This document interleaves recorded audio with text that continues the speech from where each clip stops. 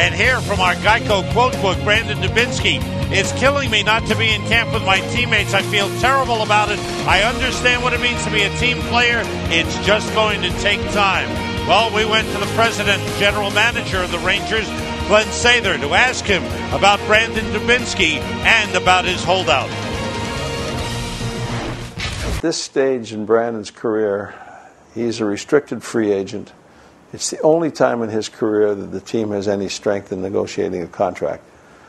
He has no arbitration rights. Next year, he'll have arbitration rights. If he has a good year, you know, who knows what he can end up with. And I think he's making a mistake by not being here and learning from all the other players what it's going to take to be committed to win in this organization. And if he decides that uh, he doesn't want to come back after November 1st, if he's not here, he can't play in the NHL.